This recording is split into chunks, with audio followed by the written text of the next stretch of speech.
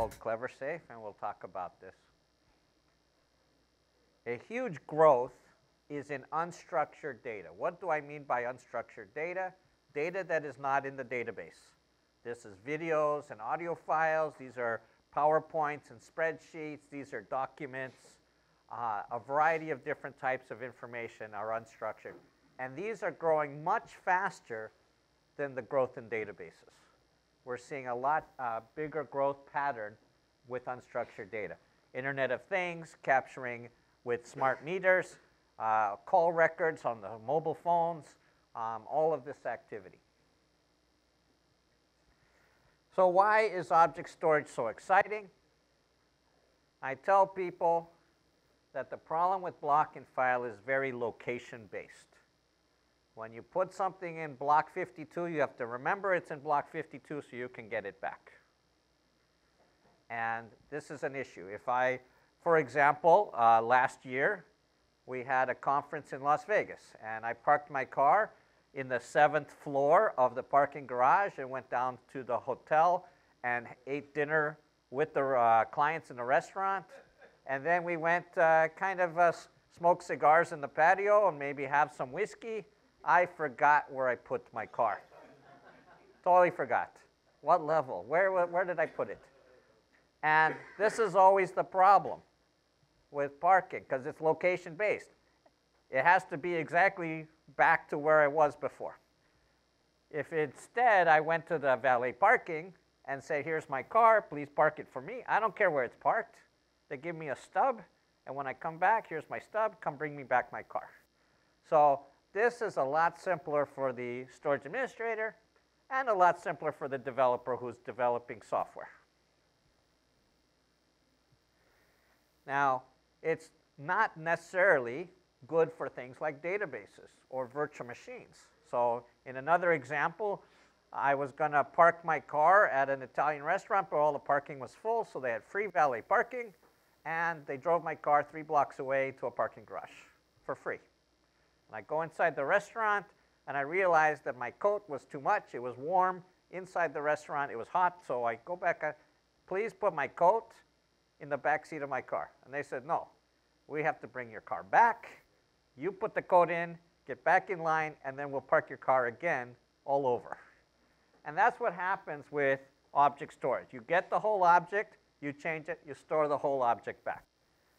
Does that make sense for a database? No. Virtual machine? No. That's too much activity. So those things don't apply to object storage. But what does apply are things that are static and stable. Things that you write once and maybe you're only going to change a few times. Photographs, images, videos, medical images like x-ray machine images, seismic information if you are doing seismic readings for oil and gas. So IBM had already two solutions.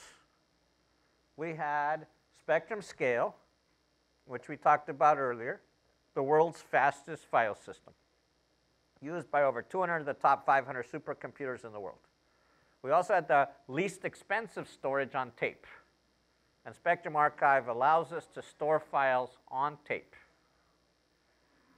And when we told people, you know, they have these two choices, they said, well, we would like something that's not so fast and not so expensive. And we said, no problem have 10% of spectrum scale with 90% of spectrum archive. But that's like telling people to put your head in the freezer and your foot in the oven and control until everything is room temperature. It didn't make sense. So we acquired CleverSafe in the middle as not so fast, not so cheap, somewhere in the middle, moderate price storage, moderate performance.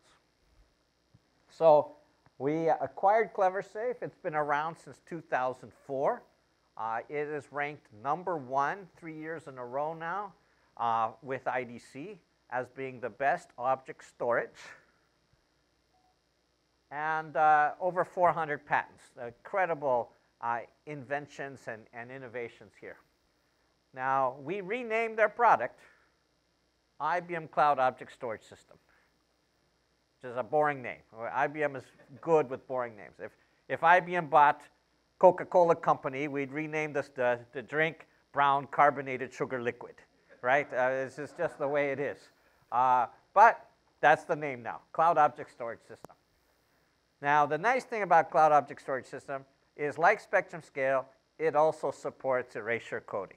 So if we want to protect against one drive failure, we could do RAID 5 or create two copies of the data with RAID 10. Two drive failure, we can use RAID 6 or make three copies of the data. So you can see here, more efficient to do RAID 6. 4 plus 2 parity is 1.5 times. Triple the data takes up 3 times. So to be more efficient, RAID 6. Here I have 7 plus 5. That's only 1.7, and I can lose 5 drives. In fact, I can use any combination of k pieces with m parity and come out with n slices. And so mathematically, I can now make a very robust solution that can tolerate a lot of drive failures. Now, somebody asked me, how exactly does that happen? They can understand one parity, but they don't understand five parities. It's really not five parities. We take, here I have 5 plus 3. I take my five variables and run it through eight mathematical equations, and I can take any five equations and solve for the five variables. So it's all done with math. It's that simple. So if I only have five answers, S1 to S8, and I only have five of them, that's all I need. So I can lose any three, and I can calculate the data.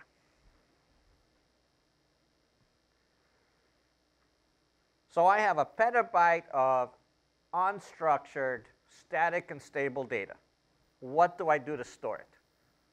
One option, the traditional approach, treat it like a database.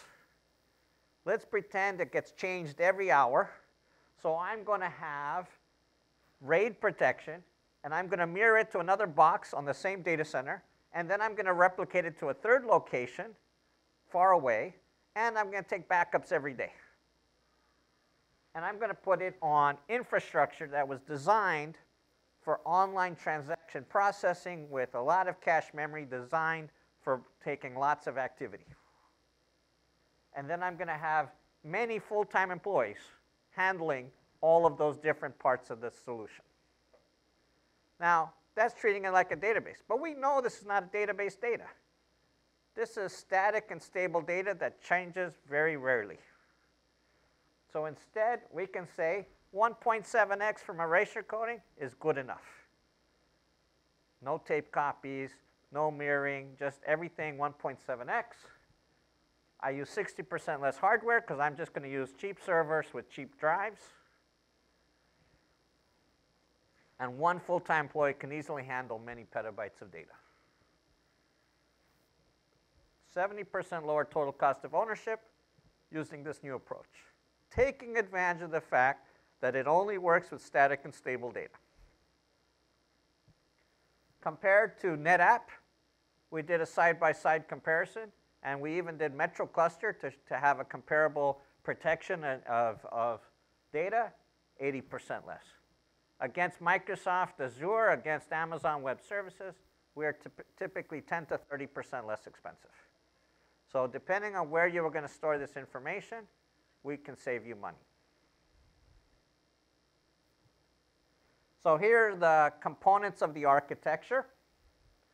Your application server or your end user uses regular HTTP over Ethernet to access the data. We call them accessors. These can be virtual machines or physical machines. And these are your valet parking attendants. You give the data to the valet parking attendant, they park it for you. They park it in storage pools which we call slice store servers. So a storage pool would be a level of your parking garage. And if you need more space, you add another parking garage. All right? And then you can set up vaults that are specific to departments or specific users or people of a specific business function. And only certain people can read and write objects into those vaults. Our COS manager basically allows us to see the capacity and performance and gathers all the statistics so you can monitor and manage your entire environment. Very straightforward, three parts. Accessor, slice store, COS manager. All right, so basically I'm going to take the data, chop it up into pieces, and store it. If I do 7 plus 5, I'm going to chop it up into 7 pieces, go through 12 equations, and store the results of those 12 equations on 12 different drives on 12 different servers. I only need 7 to get the data back, and I reconstitute the data back to the original. All right? So how does that happen? The accessor is just software. It could be software running on a physical x86 server.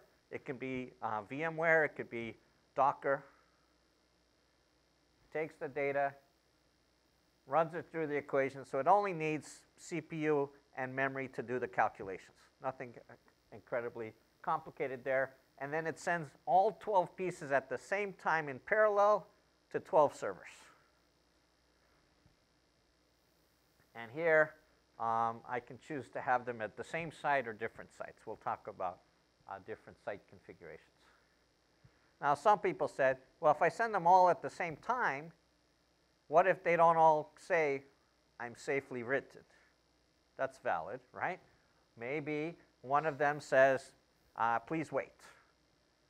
And another one said, I failed. I tried to write and it failed. Or another one, I got no response back, nothing. I wrote it, and I didn't hear anything that it's written safely.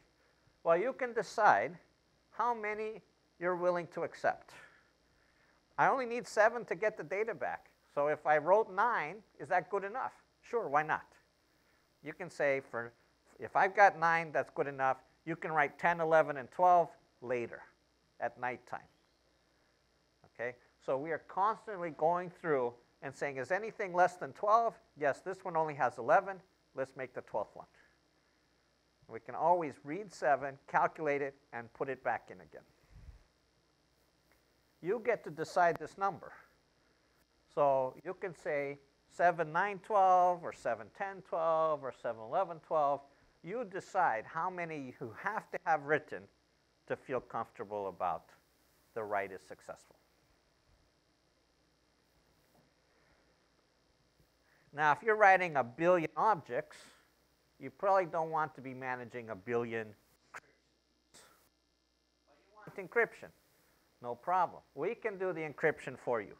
What we do is we generate the key, unique for every object, and then we encrypt the data, and then use the data itself as a hash code to obfuscate the key. And then we put the two together and chop it up seven pieces. So each piece has one seventh of the key. One seventh of the key. Can you do anything with one seventh of a key? No. All right? It's not until you put all the pieces back that you can make the key again that you can then decrypt the data. So we call this the all or nothing package, AONT. And the beauty of this approach is you get full encryption support without having to manage all the keys individually. We manage them for you. They're stored in the data, scattered in little pieces. So when I need the data back, I can get the data back. Now let's say that I stored in San Francisco, in San Juan, and in New York City. And San Francisco, they had an earthquake and they're now part of the uh, Pacific Ocean but that's okay because I only need seven back. So I can get four from here and three from New York, and I have the pieces I need. So the beauty of this solution is that even if I lose a site, I can still get all my data back. And I didn't have to make three copies.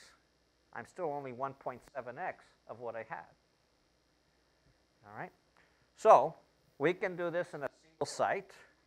And even for single site, this works very well because it's better than RAID 6. It can tolerate many drive failures. I can choose, if I want, complete duplication across two locations. If you have to have two separate copies, 1.7x, 1.7x, we can do that. And so when you create an object here, it gets copied here. When you create an object here, it goes here, completely bidirectional. if you lose the connection in between, they both keep writing. And then later we'll connect back. But the most popular one is having geographically dispersed.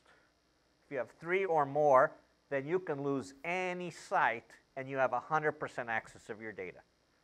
No disaster recovery, no failover, no restore, 100% of your data instantly. Now, if you don't have three buildings, no problem. You can have cloud be one of your buildings. In fact, you can have cloud be all three of your buildings. You can mix on-premise and cloud to come up with how many sites you want.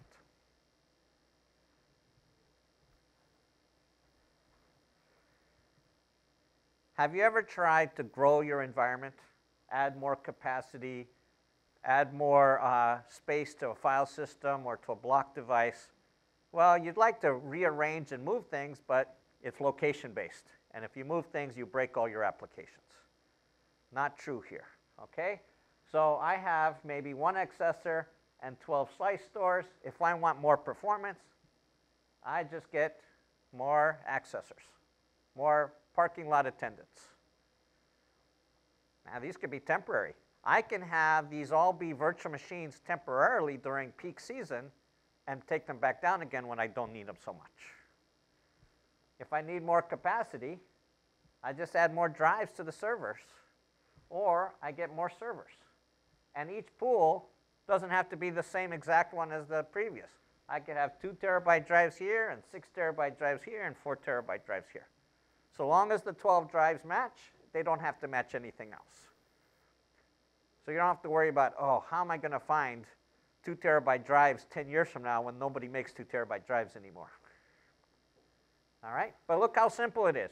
I can add more storage without telling anybody because if you have a claim stub, you get your data back. The fact that we moved things around and balanced it doesn't matter because you as an application owner doesn't have to know. All right? So just like when you park your car with the valet parking, they might put it on the third level and then move it to the seventh level and then move it down to the second level because they had to. Doesn't matter to you. You get it, you get it. So we offer this three ways. You can get it as software, and then you can install it on your own x86 server. So that's one option. Hey, I want to buy my servers from Hewlett Packard, or from Seagate, or from Cisco. Or you can have pre-built systems already put together for you or you can get it as a cloud service. So all three are available to you and you can mix and match. So let's take a look here. We have adopted a standard within IBM that when we say local, we mean private cloud on-premise, and when we say dedicated, we mean private cloud off-premise in a cloud service provider, such as IBM in the cloud service. And so if you wanted everything local, on premise, doesn't leave your building, you can do that. And we recommend 500 terabytes or more. If you are less than 500 terabytes, then maybe a V7000 or V5000 might be better fit for you, price-wise. But usually I recommend 500 terabytes. I've seen people with 200 terabytes, 300 terabytes, perfectly happy with cloud object storage because they're going to grow and they know they're going to grow. So uh, you can do that by software and put it on your own servers or by pre-built systems. If you choose dedicated, you can run in the IBM cloud, but it's dedicated to you. Nobody's going to share your equipment. Bare metal servers that only you are running on.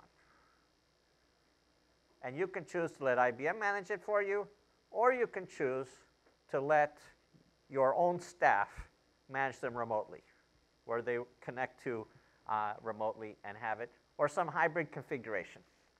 Now, both of those, you're paying for the physical machines. So even if you only write one object to 12 servers, too bad. You're paying for those 12 machines. So if you want to just pay for what you use, we also have public cloud support. And you only pay for the number of terabytes you actually write. So if you wrote 12 terabytes, you pay for 12 terabytes. And a lot of people are doing that to practice and get used to it before they decide they're going to buy actual equipment with actual servers. So here's an example. 2 petabytes usable. It's actually 3.4 petabytes, but because of the 1.7 factor, only 2 petabytes of actual. I have 6 accessors. I have 12 slice stores. I have one COS manager. 2 petabytes for less than a million dollars. This is list prices. You probably can get better. 445,000 for the hardware, 450,000 for the software, and 135,000 annual maintenance for support. These are extremely attractive prices. If you have petabytes of data and you're shopping around for where am I going to store this, you're not going to find anything better. Who is using? This, this would be for an on-premise cloud, on-premise cloud. And we have similar numbers for off-premise if you want to see them.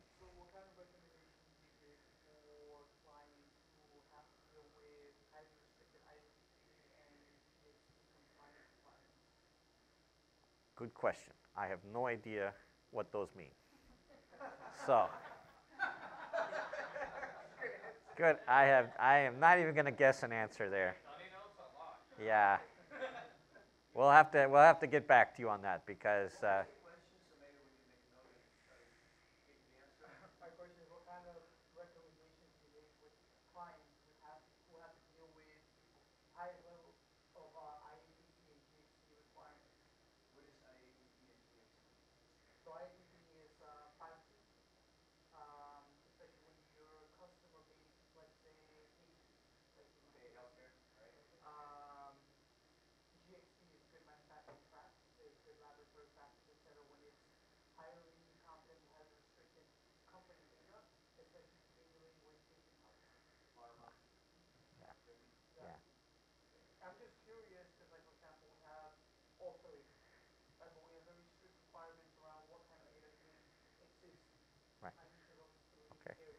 Well, I know a lot of customers in the healthcare and pharma who use object storage, so we can find out. This solution has, uh, it has its original traction or installs in the federal government, right? Yeah. Organizations that do stuff that we don't know or maybe we do know about. Yeah.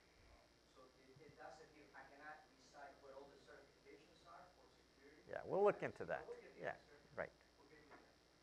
All right, good. You stumped the speaker already.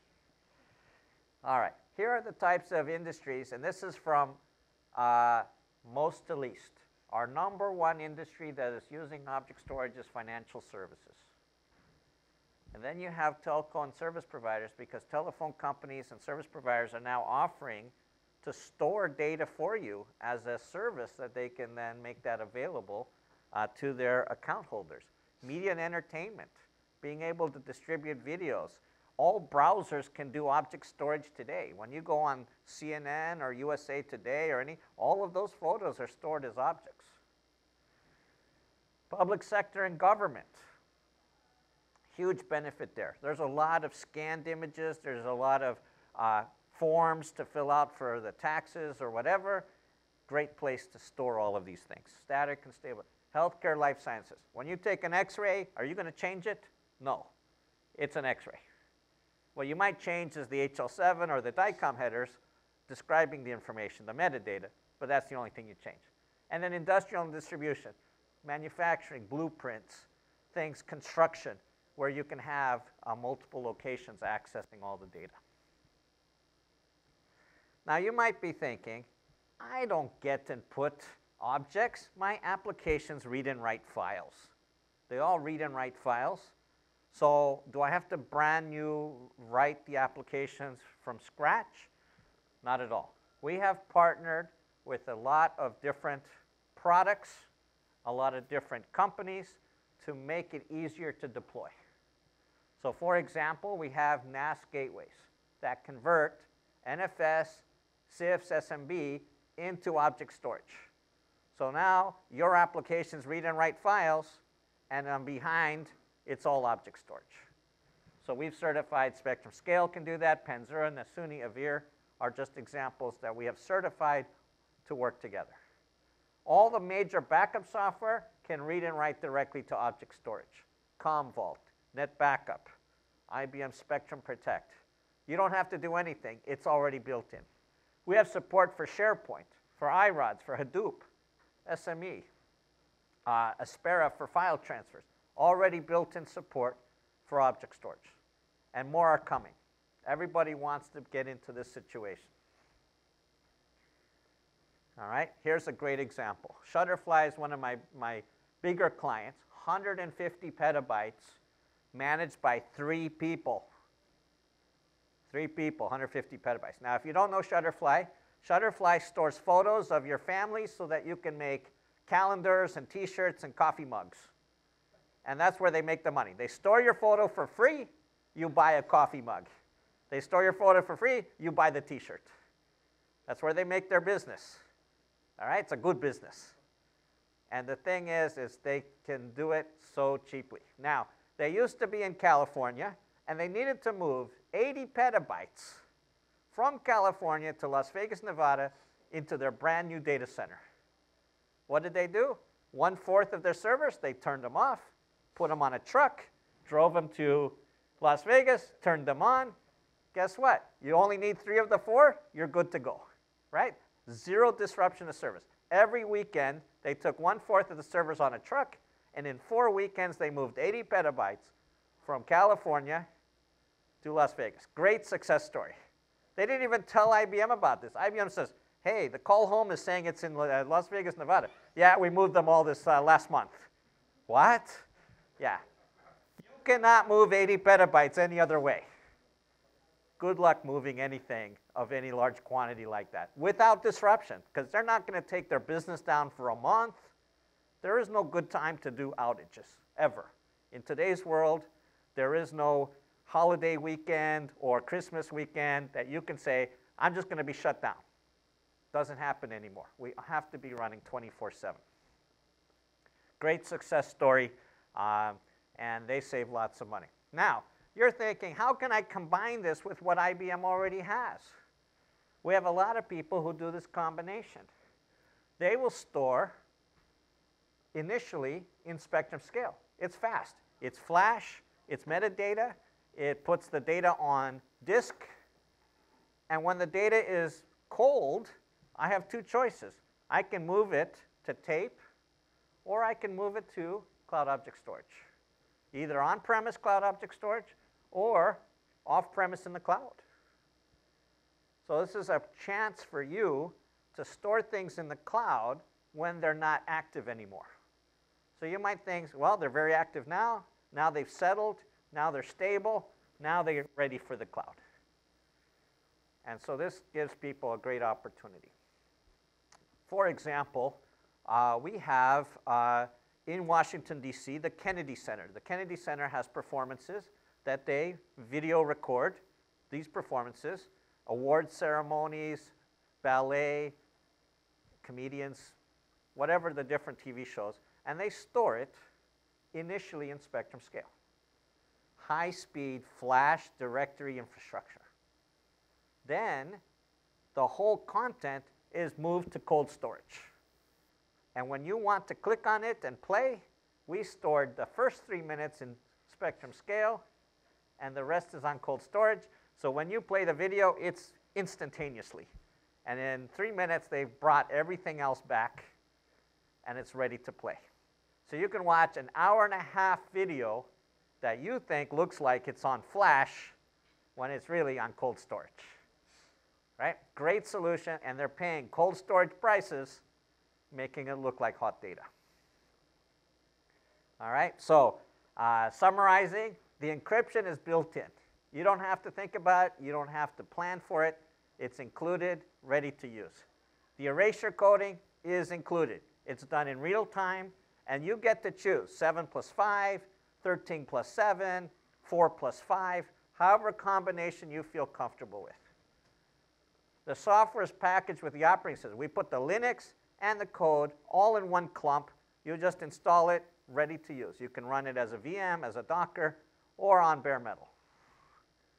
the disk lifecycle management. It automatically looks, is there any failure? Is there anything missing?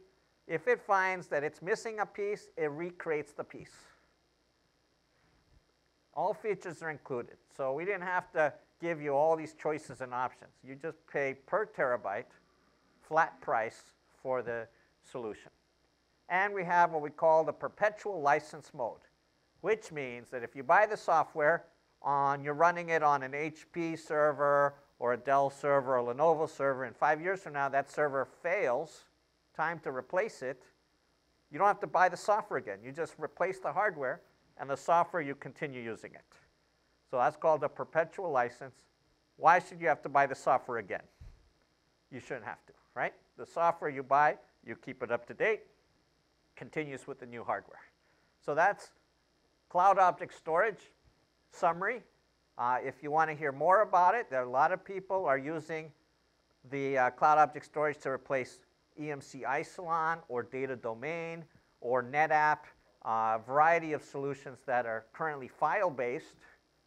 This turns out to be less expensive alternative. Questions? No? Okay. Anybody? Who has more than 500 terabytes? Yes? Pharmaceutical, definitely. Lots of data. Uh, you'll be surprised. You will be, most companies will be more than 500 terabytes soon enough. Just a matter of time. Yes, yeah, when, not if. All right, Luis, shall I go on to the next topic? Continue on? All right, let's, let's move it to the next topic.